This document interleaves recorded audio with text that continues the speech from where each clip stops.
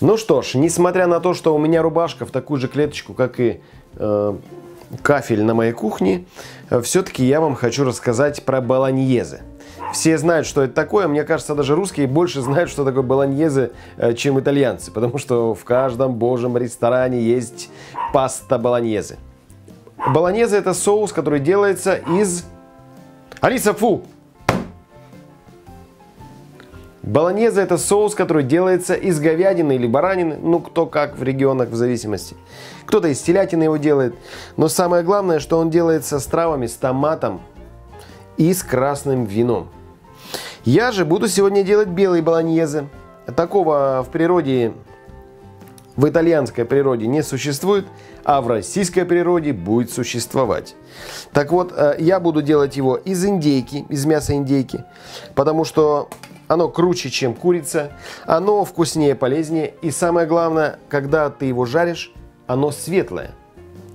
А белый болоньезе, конечно же, я буду делать вот из... Мне нужно делать из светлого мяса. Еще вот какой важный элемент. Мои друзья занимаются поставками индейки по Сибирскому федеральному округу. Если вы хотите узнать побольше об этом продукте, о том, как его готовить, о его свойствах и даже где в вашем городе можно купить индейку, обязательно подписывайтесь на страницу в Инстаграм, указанную в описании. Но самое главное, что болоньезе я буду делать не с макаронами, не с пастой, да, а буду делать с тыквой. То есть основа у нас будет тыква для болоньезе.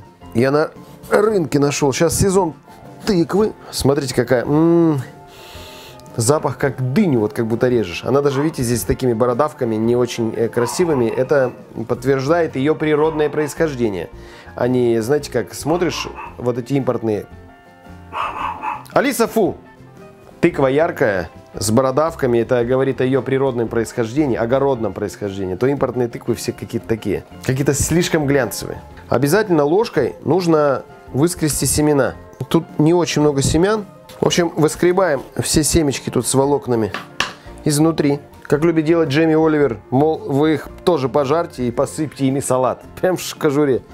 Ой, я каждый раз, когда смотрю э, про тыквы, про семечки вот эти в кожуре, конечно, я в шоке, в легком шоке. Конечно, можно и грецкие орехи не, не, не, ну, не, не чистить, так прям посыпал просто прям в кожуре и все, ништяк будет.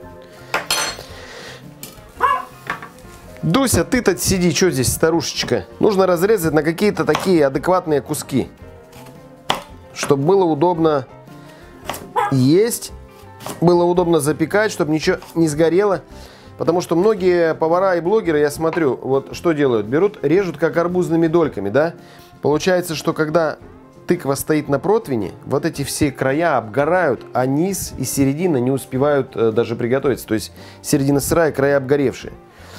Я знаю, что это выглядит более красиво, чем значит, как-то по-иному, но я вас уверяю, режьте, чтобы удобно было это есть потом. Сразу же на противень. Можно, кстати, белую. Но раз у нас белый болонезы, давайте на белой пекарской бумаге выпекать. Хотя это не лучший вариант, белая, как правило, прилипает все время. Значит, вот так вот выкладываем крупными кусками с кожурой. Вы заметили, да? Я не хочу чистить, потому что и потом довольно удобно это есть и в том числе с кожурой. Тем более, что не устаю повторять. В ресторанах с нас клиенты требуют, три шкуры снимают за какую-то косточку э, филе, да, когда заказывают. Но дома же, блин, и все блогеры, все по-домашнему, и миллионы просмотров у тех, кто щуку вот так вот стейками крупными нарезал, обжарил слегка, и потом типа ешьте. Ё-моё, вы когда-нибудь пробовали щуку стейками резать? Там костей, там пип, костей. Есть это невозможно. Но в ресторанах же все прям такие педанты. Мол, что это у меня косточка попалась, а вдруг я попадет у меня в горло и я умру. Дома же карпа все запекают, жрут его, фаршируют. Там костей больше, чем в щуке даже. Что я делаю дальше? Обязательно оливковое масло. Прям каждый кусок нужно так желательно обильно полить. Для того, чтобы он румянился. Без масла румяна не наступает у тыквы. Ну и у овощей. У овощей любых тоже, э, особенно картошка, крахмальные овощи.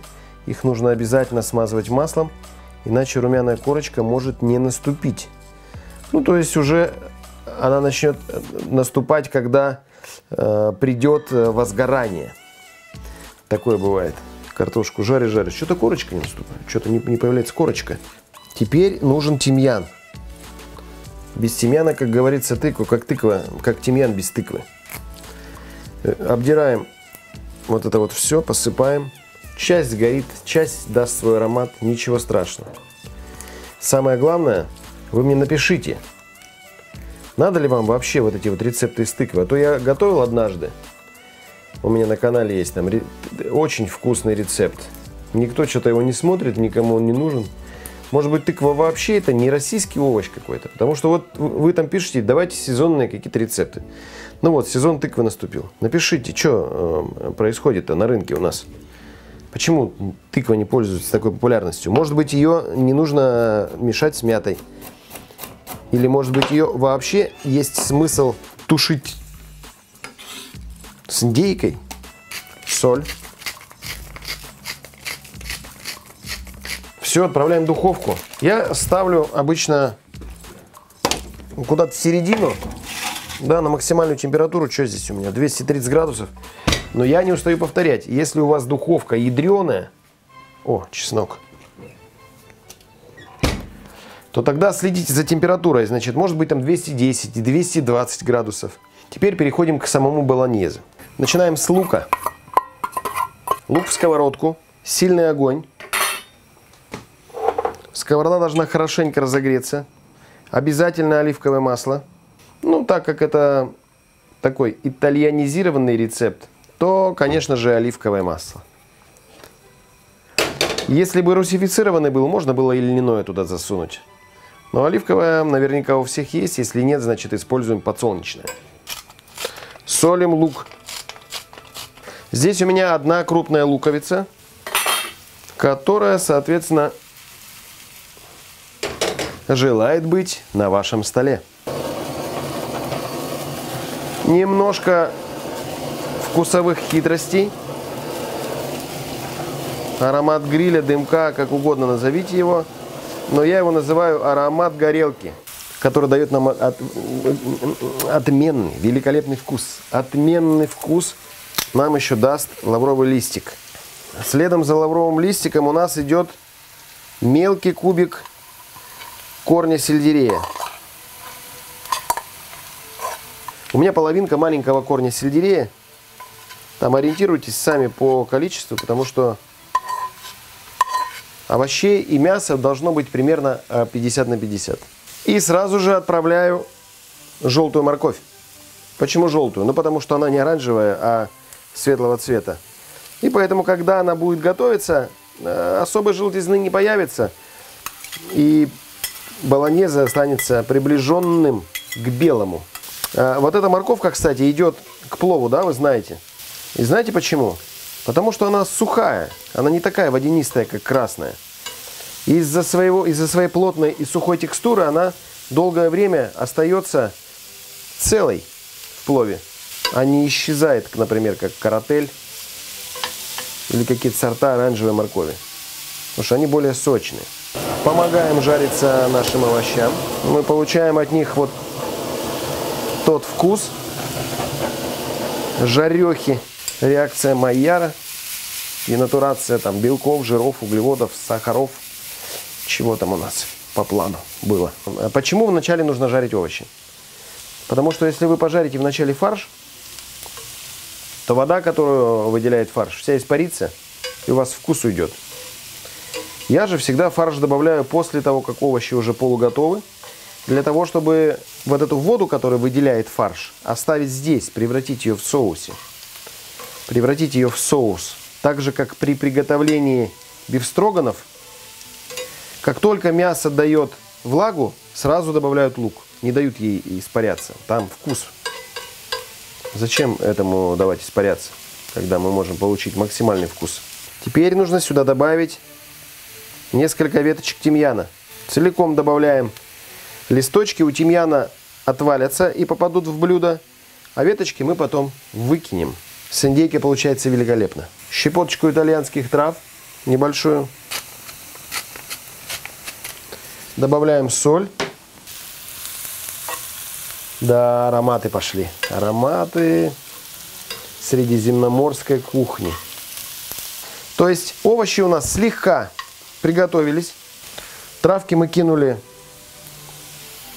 Они, соответственно, дали свой аромат. Значит, теперь пора отправлять фарш индейки. Первое время главное его разделить, потому что он пока что слипшийся, но как только он начинает попадать под воздействие тепла, он сразу твердеет. И потом его легче уже разделить на более мелкие фракции. То есть мне нужно, чтобы он полностью разошелся. Да, и следите за тем, что если как только вы э, какой-то оставите кусочек неразделенный, он тут же у вас превратится в тефтельку. Потому что э, все фарши из птицы имеют высокую степень клей, ну, клейкости. То есть особо выбивать. Для того, чтобы сделать, например, люля-кебаб из курицы, ее не нужно столько выбивать, как, например, говядина или баранина. Для того, чтобы соус стал таким густым, однородным, нужно обязательно добавить сюда пару щепоток муки. Пару щепоток муки вот так добавляем. Можно даже три, в зависимости от объема. Я добавлю три с половиной. Теперь соль. Черный перец. И примерно 150, ну 120-150 миллилитров белого вина. Чтобы соус, который выделила индейка, он смешался с вином. И, в общем, э, мы ждем, когда вино отдаст свои кислые пары. О, пары, кстати. Не, не, не горит. Иногда горит. Когда очень много вина, оно прям загорается. Когда алкоголь начинает выходить. Все, э, значит, муку, вино, здесь все это перемешиваем. Добавляем немного воды. Нет, рановато. Должен исчезнуть яркий вкус вина. Вот как только он исчез, тогда нужно добавить воду. Отлично, крахмальные овощи еще разварятся, дадут такую вязкость. Мука, мясной сок, белок. Все вместе это у нас как раз превратится в такой великолепный соус к тыкве. Воду нужно добавить кипяченую. Ну, в смысле горячую, для того, чтобы у нас процесс разогрева происходил быстро. Смотрите, наливаем воду так, чтобы вот фарш был ну, почти покрыт. Кто-то извращается, там может добавить бульон. Кто-то вообще не парится, кубиков нарубил туда, водой залил и вообще не надо индейки никакой. Но это кому пофиг. Кому не пофиг, э, соответственно, я рекомендую все-таки заливать водой, потому что у нас здесь огромное количество мяса и овощей. Зачем нам еще и концентрированным бульоном дальше концентрировать вкус? Ну, можно, конечно, но это не так важно. За 5 минут до окончания тушения рекомендую добавить сюда чесночок мелкорубленый. Обязательно перемешайте. И закрыв фольгой, продолжаем тушить до мягкости индейки. Тыкву я запекал примерно минут, наверное, 40. Она такая довольно влажная оказалась. И я все ждал, когда же появятся вот такие вот подпалины, да, даже немножко пригоревшие. Смотрите, видите, она по краям прихватилась. То есть она как в коконе. Высохла пленочка по краям. Я вот это ждал, вот этой пленки, которая должна быть сверху, а, а внутри она будет нежная, мягкая и такая прям рассыпчатая, кашеобразная. Вот, а, понимаете, главное, чтобы была вот эта пленка. Вот нажимаете прям то, что доктор прописал. Теперь, значит, так как у меня вот эти вот маленькие кусочки более сухие, я их выкладываю в первую очередь на тарелку. Потом куски побольше. В общем, нужно выложить сюда столько тыквы, ну там вот сколько вы запекали. Я имею в виду, что если вы это делаете на большой стол, а это блюдо очень выгодно делать на большой стол, потому что неудобно печь маленькую тыкву, неудобно чуть-чуть там э, сделать фарш индейки. Вы все равно покупаете объем в магазине. Поэтому вот в огромное блюдо, сейчас я делаю такую индивидуальную подачу. Ну и, конечно же, та-да-да-дам, баланьезе. Баланьезе есть смысл выкинуть оттуда ветки тимьяна. Вот смотрите, видите, ни одной, э, ни одного листочка нет на ветке. Они все там внутри. Смотрите, какой получился фарш нежный растушился. Овощи стали мягкие. Соус светлый. Аромат, конечно, потрясающий. То есть соус действительно получился в таком итальянском стиле. Прям не стесняйтесь. Накладывайте его так, чтобы тыква у нас только-только кончиками торчала из-под соуса. Соуса должно быть много. Сырочку бы тирануть. Алиса, бегом, бегом. Конечно, запрещенки у меня никакой итальянской нету, но зато у меня есть вот такой твердый сыр, который я привез из Нальчика. Спасибо шефу Бесо за такой грамотный подгон. Вот как раз он, знаете, в наших краях, так сказать, в российских, лучше всего подходит для подобного рода блюд. Трем. Он реально твердый. Самый настоящий. Я его только что вытащил из упаковки. М -м -м. Выглядит великолепно. Запах просто потрясающий. Пробовать его нужно ложкой. Никакие там вилки не помогут. Вот смотрите, берете прям, видите? С кожицы все снимается прекрасно. Фарш и соус и все вместе это лучше удобнее есть ложкой. Секунду. И сыр классный. Вердикт таков. Вердикт таков. По вкусу очень понятное русское классное блюдо. Фарш, тыква, сладкое, пряное все. С элементами сыра, как любят э, русские. Все засыпать сыром и запечь. Вот это примерно такое же блюдо. Главное, с аккуратней. И та кислота, которая есть в соусе, она подчеркивает сладость тыквы. Это все вместе. М-м. Великолепие. Приятного аппетита, господа. Обязательно приготовьте такую штуку в стол, в праздничный стол, на день рождения. Это готовится, видели, все довольно быстро, удобно и самое главное, это очень вкусно. Пока.